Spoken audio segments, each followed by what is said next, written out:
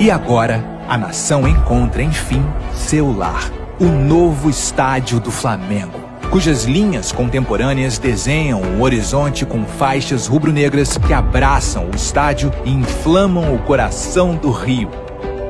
Como uma onda que se levanta, transformando-se nas listras que envolvem este novo templo e o fazem pulsar junto ao mar. Aqui a história será escrita, jogo após jogo, vitória após vitória.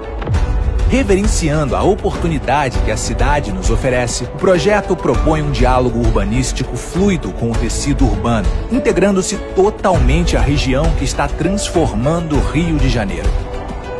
Nosso estádio se abrirá como um destino turístico natural da cidade, coroando o passeio do circuito do Porto Maravilha, oferecendo esporte, entretenimento, cultura, hotelaria, gastronomia, contemplação e vistas espetaculares da cidade maravilhosa. Um estádio único e icônico que permitirá uma experiência grandiosa à nação rubro-negra. Quem viver, verá. Com nossa nova casa, as receitas crescem, os sonhos se renovam e todos nós ganhamos um palco definitivo para as nossas conquistas. Seremos mais fortes e a nação rubro-negra estará presente em cada passo, abrindo as portas para um futuro ainda mais brilhante. Agora, o Flamengo terá seu próprio estádio, onde cada grito, cada lágrima, cada sorriso será eterno. Vencer, vencer, vencer.